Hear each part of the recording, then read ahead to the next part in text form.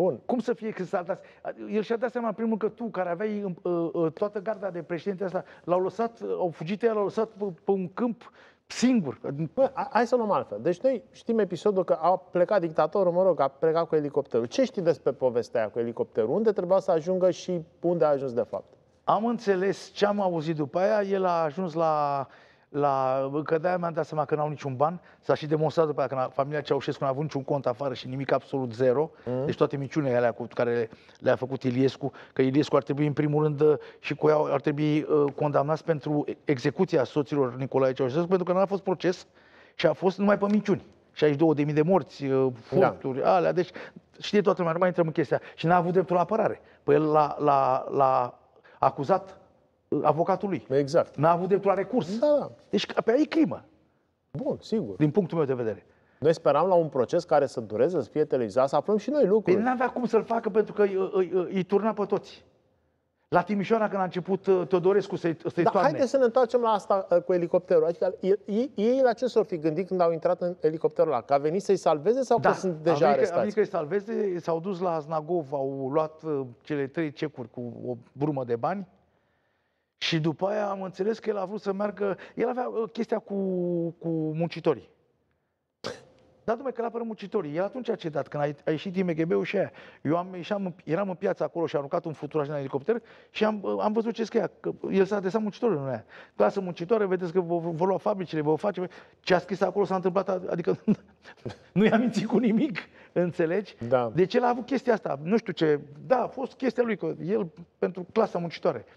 Și am înțeles că a vrut să aterizeze undeva unde erau, el a crezut că îl va, va, va apăra uh, muncitorii și chestia asta. A vrut să meargă într-o unitate militară în care că dacă va fi apărat sau a vrut să meargă în mijlocul unor oameni despre care că dacă... Oameni, prin unitate militare nu-l duceau că, uh, din moment ce era Stănculescu cu el și a dat ordinul să pună elicopterul jos, era clar că armata era uh, uh, preluată de, de, Dar de el, ăștia el alții. și-a fi dat seama că nu se mai poate baza pe armată și când și-a fi dat seama de lucrurile astea? uh, orice ar spune oamenii și oricât mă înjură și să mă, o să mă facă sunt uh, cu asta, Ceaușescu n-a fost un om prost. Pentru că dacă era un prost, nu făcea ce a făcut. A făcut o țară care ăștia o distrug. Clar, asta poate să mă zic, zic oricine, nu? Și plus, uh, uh, ce am urmărit eu în timp, stând prin preajmă, cu el n-am vorbit niciodată și n-aveam ce vorbi. Eu cu ale mele, el cu ale lui. Uh, el când vrea să facă ceva, avea chestia asta care era foarte bună, care acum nu mai există. Băi, cine e cel mai bun în domeniu? Să vină aici. Uh-huh. Nu acum cum știu eu, știu, eu știu totul, eu fac totul și mai avea o chestie foarte bună, făcea numai cu românii.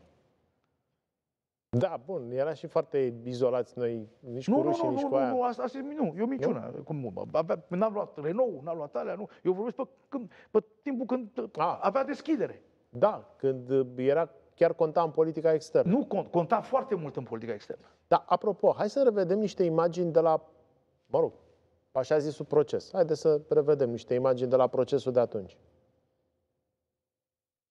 Vă respectăm ca simpli cetățeni cu speranța că veți spune odată adevărul și nu veți lucra pentru nimicirea României.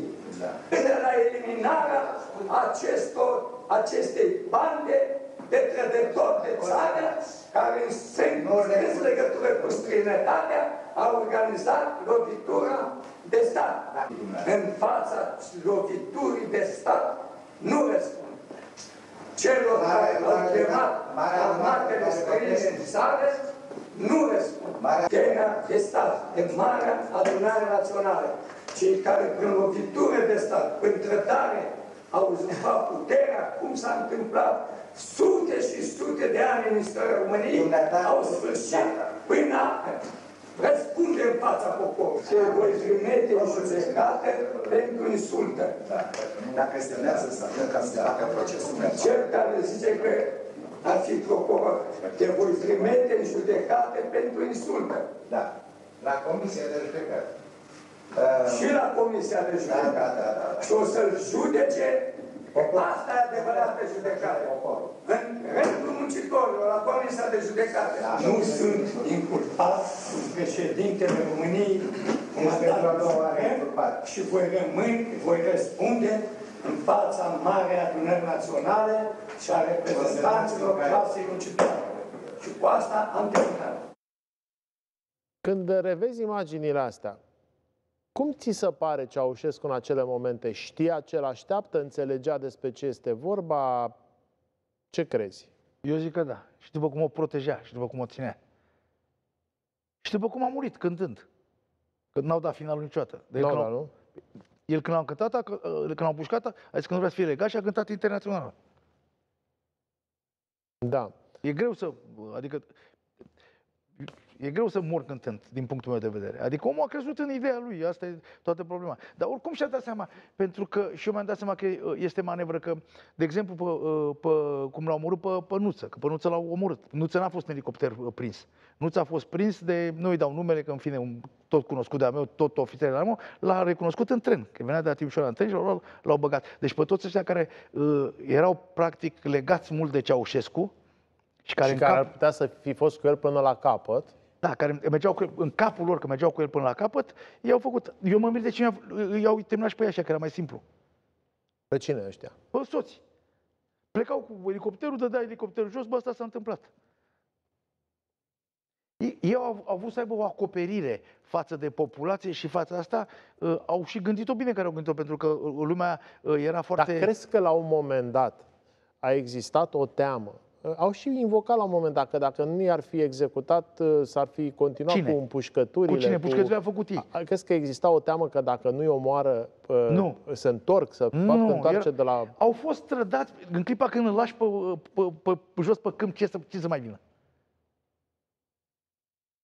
Uh, S-a demonstrat uh, de către suedești că uh, ar- uh, uh, asta, uh, direcția 5 n-a tras un foc. CC-ul uh, n-a fost atins cu un glonț și în- în jur au La făcut... balcon toată lumea se întreba, "Da, de ce mor ăștia din piață și nu, bă, dacă au ceva de făcut și sunt ăia care îl apără pe Ceaușescu, să se tragă în primul Dar rând în acolo nu balcon. te tragi în ăla care stă și că te tragi în caramitul care dirigea cu farul și cu farul, cu ăla, cu Da, Serghei, de ce l-or fi dus la Târgoviște? Știi cumva, după ai aflat uh, uh, din poveștile pe Ce care... am auzit din povestea asta că el a vrut să meargă la Târgoviște acolo, la fabrică. că A la- vrut la el să Pără, meargă da. la Târgoviște. Deci și spune la un moment dat că, la Târg... că spune lumea că n-a murit, că el spune de la Târgoviște am, am, am plecat, îi spune ei la Târgoviște murim. Și ce, ce să te mai gândești că te scapă când îl vezi pe aghiotantul tău la masă că te judecă? Că îi spune la un moment dat, Victoria și de copii. Da.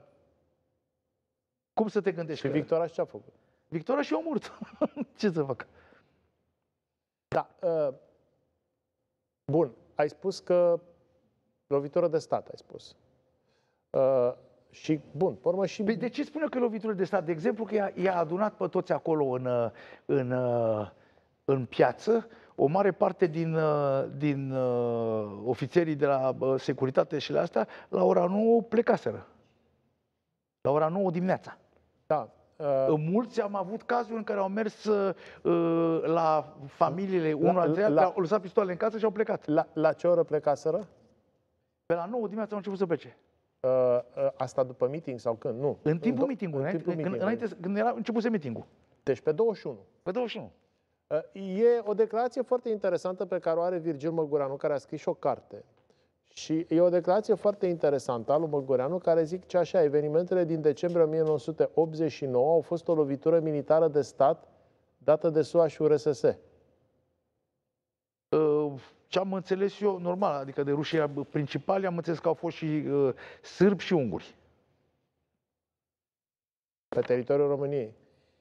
Păi dacă tu ești la procesul de la, uh, de la Timișoara, ai văzut că Teodorescu a început să spună, stați așa, că ăsta este KGB, ăsta e așa, ăsta e Bun, așa, sigur, așa. uh, și a oprit procesul. Da, adică nu l-au mai televizat. Nu mai autorizat, da.